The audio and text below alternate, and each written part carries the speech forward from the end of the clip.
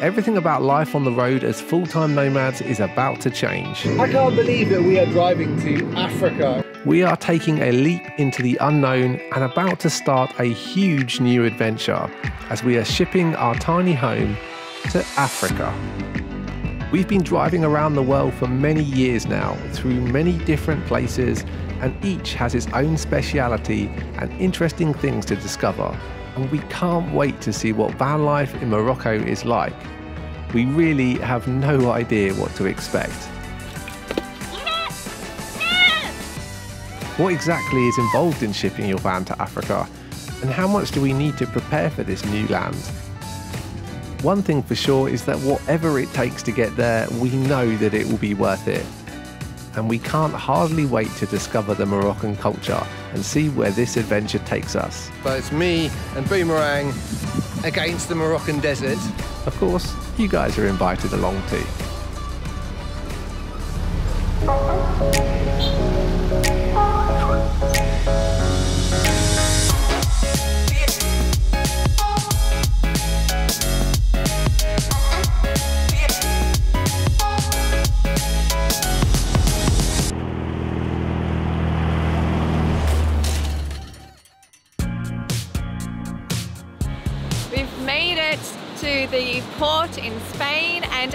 Africa is just over there. It's so close you can swim to it. I can't believe that that is the African continent. This has got to be the easiest relocation across continents ever. It's only a couple of hundred euros um, and we get a boat to an entirely different continent. Africa! It's flipping Africa! We just did a big clean of the Kombi and uh, took everything out that we shouldn't have. We're not allowed to take too much alcohol. Yeah, we cleared out some alcohol. And also Alaska's been cleared, so we got her paperwork checked at customs before we got into the port. They Ben said they kind of just skimmed through it quickly and said it was fine. Checked with the um, aduanas behind me um, and everything is good. And she's all good to go and come back into uh, into Europe. Being full-time nomads, we've crossed many international borders. And one thing that we've learned is that no matter how much you prepare, you can never guarantee what will happen. At this stage, it's a bit nerve-wracking for all of us.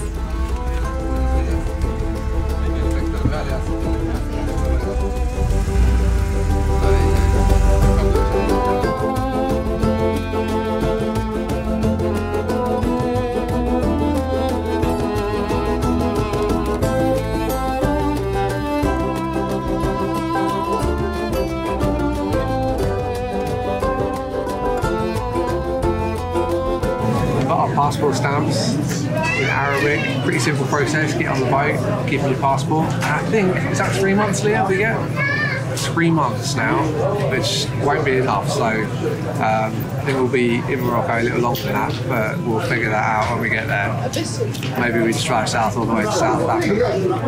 You reckon? The excitement for an upcoming adventure and the moments of anticipation before exploring a new land is one of the best feelings. What will we discover and how will we be welcomed in this foreign land? And who will we meet? This curiosity is what fuels our wanderlust and love for nomadic living. So I'm just um, waiting in the car inside customs, and Ben is gone off to get uh, some insurance, car insurance, which is across the border here. Um, we read that you can get car insurance from Morocco at the border, and in this particular port especially. So that's why we came here. It was all good. They let us go through, or they let Ben go through to get the insurance. Had our van checked, which is all good. They checked us for firearms and for alcohol. They asked us if we had water in here for some reason. Um, they didn't really check Alaska's papers here. Checked for also a drone. They, they checked all our camera equipment to see if we had a drone as well. So I'm glad we um, got rid of that when we could. Done. Drones on their way to Portugal. We're sending them to Miguel. So yeah, we're just still waiting for Ben to come back with insurance, and then we're off to go. I think. I think everything's good. Here comes the insurance lady. Pass us the keys, babes. Bonjour. She wants to check there's a house in here. oh yeah. That is beautiful car. No, thank you. Lenny, thank you so much. And uh, It's not right, is it? 200. So all good? Yeah. All good. Um, You're there for ages. I know because we had a, a disagreement about uh, what a van was. And she's like, "What kind of vehicle have you got?" It's like a van. And she's like, "It was like 500 euros for insurance." I was like, "What? You've, you've got to be kidding me! There's way too much money." And she was like, "Nothing I can do. It's 500 euros." And then I was like, "But it's my house." And she's like, "It's a house." and then she like dropped the price by half. Oh wow. So apparently vans, she thought it was like a commercial van we were coming to load up on Moroccan goods and go back Ah, with. So I don't know, they get a piece of that or something. yeah.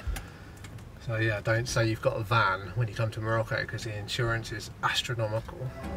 It's good to know.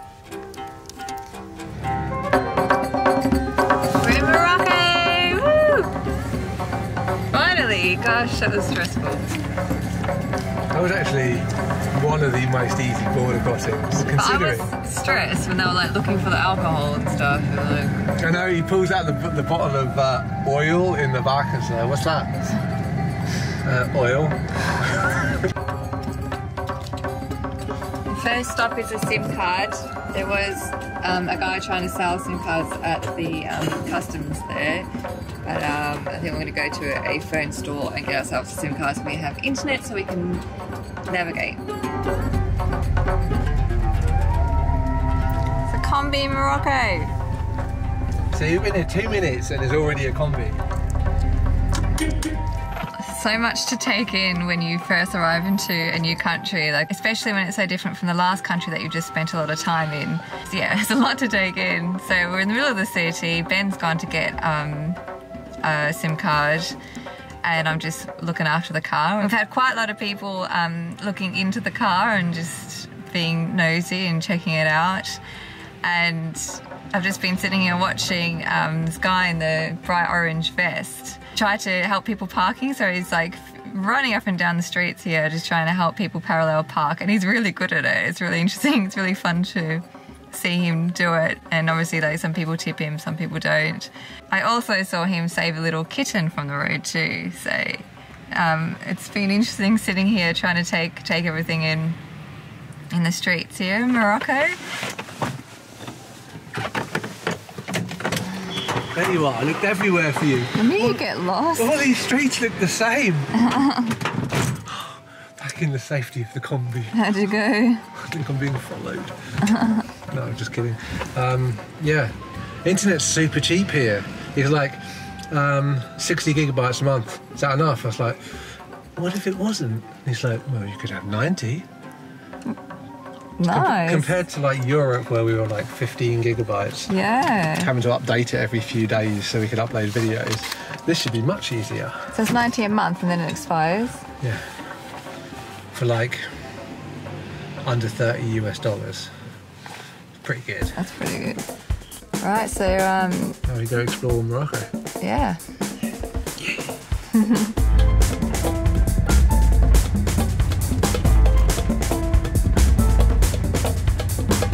Lane, any lane.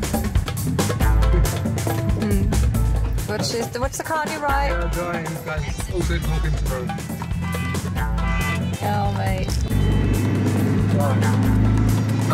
Driving in Morocco is an experience. Like, you definitely have to have your wits about you doing this. Definitely kind of got that whole developing country vibe going on of like no real rules, no real lane discipline, um, which is okay. I'm used to it. It's just been a while, so I have to kind of like get back into the flow of things and so people just really got to pay attention. And not talk to the camera. Nice, it? Have the uh, English letters below that. Thoughts on Morocco so far? People are really friendly. Like we've had so many people like beat their horns and like wave at us. And the roads are really good and the streets clean and it's freaking so far. See how long this lasts. I hope it, I hope it goes for the whole time we're here.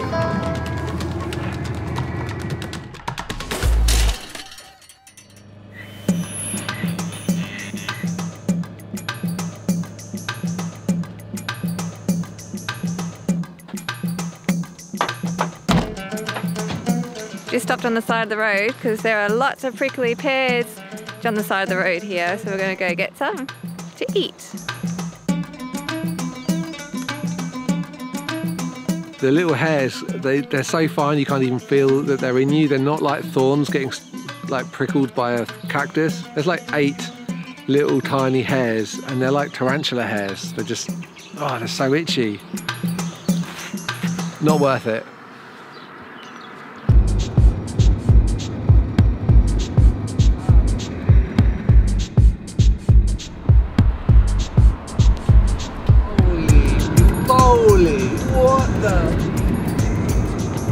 See the size of that truck? Like he had, it was twice his size with hay.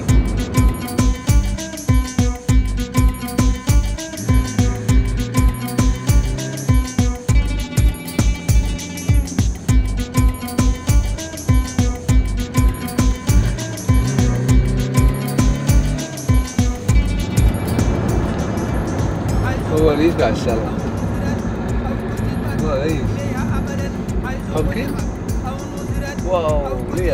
Leo, you're missing all of them. Pumpkin pound. The roads here uh, are gnarly, let me tell you. Um, Moroccan mountain roads, gnarly. Absolutely insane. Uh, Leah just asked me to pull over and pick something up from this roadside stop. Uh, it's 100 dir- dirham. No. Okay. Okay. No. Oh, yeah, we just want a little. Uh, lit, Yeah. 50. 50 Yeah. for little. All right, back on the road. Uh, we are not getting honey, right? That was honey she was selling. Yeah. There was bee farms on the side of the road. Uh, looked like it'd be nice, um, but she said ten dollars basically. So ten dollars for the big one, and then I said, "Is there small?" And she goes, ten dollars. I'm like, "It's too much." And then she said five, 50 dirham. So, lo- long story short, we're basically still trying to figure out our uh, Moroccan haggling techniques. Haggling is absolutely necessary in a country like this. So, um, we went to 20, and then that was just no. And she's like, see you later. I was like, okay, thank you. So, 20 is too low. Maybe next time we try 40%. Yeah, Yeah. I think it is forty. Anyways, uh, there's a Cops. couple. But they always let us through though.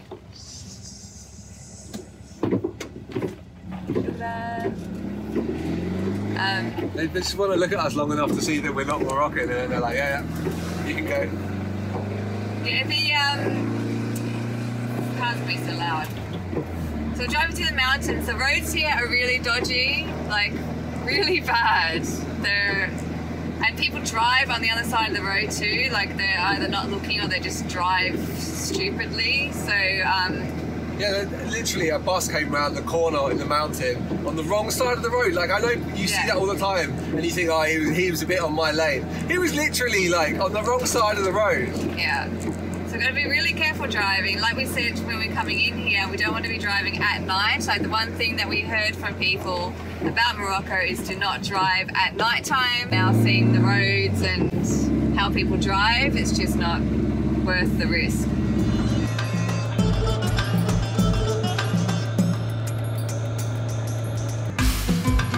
We really would advise not driving at night in Morocco. The road conditions here are quite challenging, and it always takes longer to reach a destination than the distance would have you believe. On this occasion, we pushed on later than we would have liked to reach a campsite in the mountains.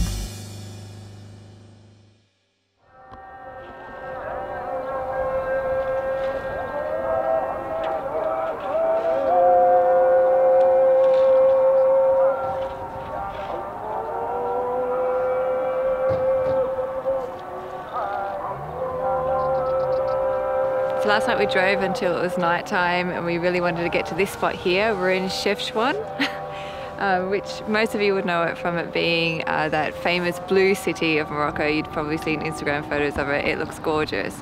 So we came here last night. We didn't know where to stay, so we found a campsite just up here. Um, and yeah, we're going to explore the town today. I think we're in the Rif Mountains, so we we're driving across that last night. Um, and it was a really lovely view before it got dark. but it's really beautiful here in the mountains and yeah, the town looks gorgeous, so let's go check it out. As you can probably tell, Chefchaouen is a place most Moroccans and tourists alike want to visit. It is gorgeous, and as it's perched in the infamous Rif Mountains, it is also where they grow the cannabis. You may know that Morocco is Europe's largest supplier of illegal hashish, so if you're visiting this region, expect to be offered it frequently. Wanna go high? Don't know whose idea it was to paint this whole town blue, but it was a good idea. It's so cute, all of these little. I mean, I'd love to have seen the evolution of this town, how it all got built up upon each other. The streets are just crazy. So many playful kids around here, too. Alaska's been dog napped already. Where are you going, guys?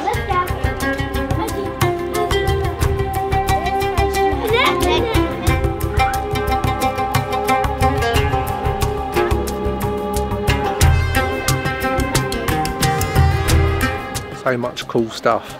This is the point where you really wish you didn't live in a tiny house because I could fill a regular size house with a lot of this stuff.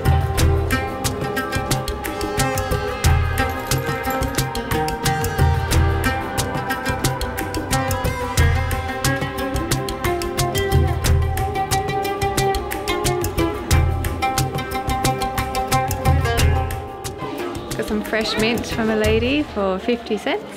I'm sure we got ripped off, but we weren't going to bargain. About 50 cents, be a lot of mint for mint tea later.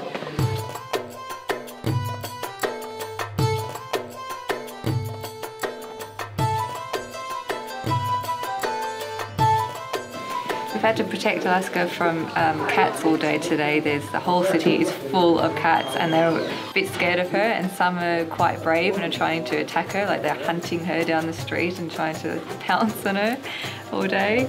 Um, so yeah, we're a bit more paranoid with cats and dogs in Morocco because it's a high rabies country. So we're a bit more paranoid about her getting attacked. Um, you can see why so many people come here to do Instagram pictures, Instagram shoots. Every corner you turn is just like super photogenic. So uh, from here, Leah, Oh yes, we're going to meet up with um, a few people that we met in Portugal um, when we were camping at the beach, and they said they were going to come to Morocco as well, and they are actually here today in the same town as us. So they just crossed the border like we did yesterday, and we're going to meet up with them and do some camping with them. yeah, van life, Morocco style. Yeah, they're from Spain, I think, all of them. That's if I right. remember Yeah. right. So yeah, we're going to meet up with them now.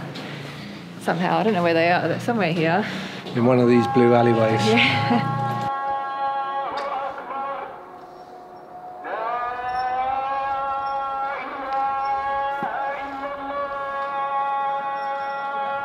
There they are. There they are.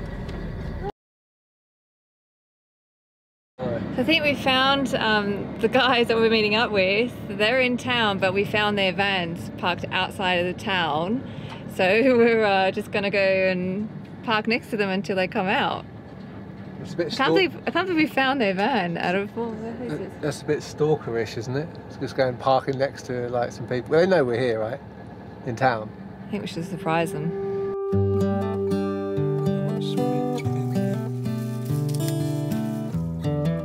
Are more people than you think travelling independently and living the van life in Morocco. So there are plenty of opportunities to connect with other travel loving and curious minded souls. Sitting down around a campfire and sharing stories from the past and dreams for the future is, in our opinion, the best way to get to know people. The roads that lay open on many When the old one's gone under the knife